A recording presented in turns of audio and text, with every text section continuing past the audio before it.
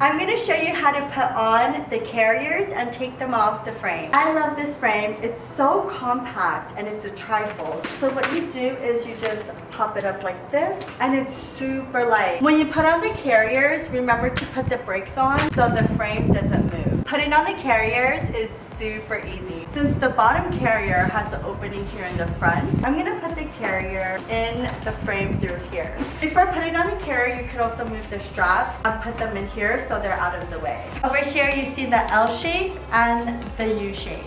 Over here, you want to hook the L shape through this bar over here and then push down here. Next, to put the top carrier on, you want to match this button with this hole right here. Now I'm going to show you all the amazing features of the Deluxe Double Decker. It's practically a three-in-one travel system and you can take multiple pets or just one pet, pets that need their own space, pets that don't get along, use it as storage. The top holds up to 11 pounds and the bottom holds up to 33 pounds. I'm going to go ahead and unclip clip this bottom part just so I could show you all the amazing features of the bottom bassinet. There's a toggle feature here where you could roll this